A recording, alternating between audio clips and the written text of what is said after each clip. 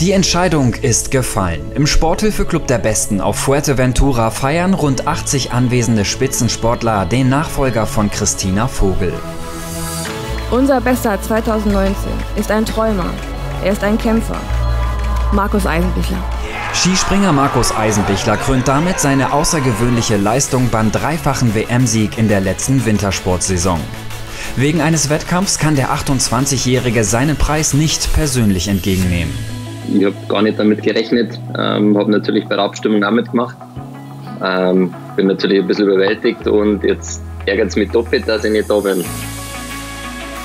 Der Eiser ist einfach äh, ein super Typ und äh, mega Granate und ähm, er hat es einfach verdient nach der Saison, was er da in äh, Innsbruck und Seefeld gezeigt hat, war einfach fantastisch. Als zusätzliche Belohnung darf sich der Skisprung-Weltmeister über eine Traumreise und einen vollelektrischen Cityflitzer freuen. Das Besondere, gewählt wurde von den 4000 Sporthilfe geförderten Athleten selbst. Die Abschlussgala ist das Highlight einer ereignisreichen Eventwoche für Deutschlands erfolgreichste Sportler eines Jahres.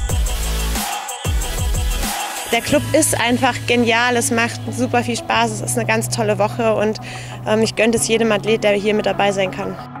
Eisenbichler ist der 20. Titelträger seit Beginn der Auszeichnung der deutschen Sporthilfe und damit bereits für das nächste Jahr qualifiziert.